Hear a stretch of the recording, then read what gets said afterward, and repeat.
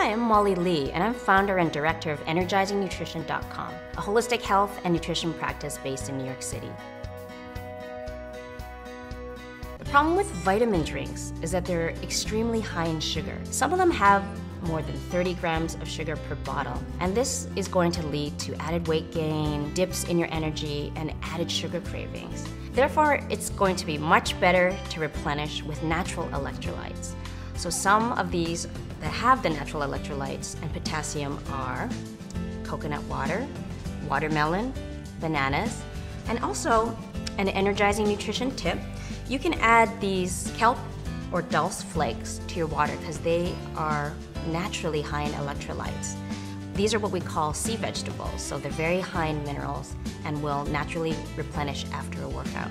There are a lot of energy drinks out there packed with caffeine, and this can be particularly dangerous for kids, teenagers, and young adults because it's been shown in studies that this can lead to higher risk behavior.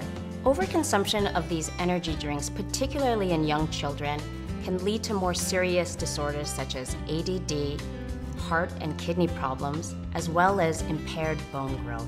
And that's why, as I mentioned before, I highly recommend going to natural sources for natural energy, such as the coconut water, bananas, and watermelon.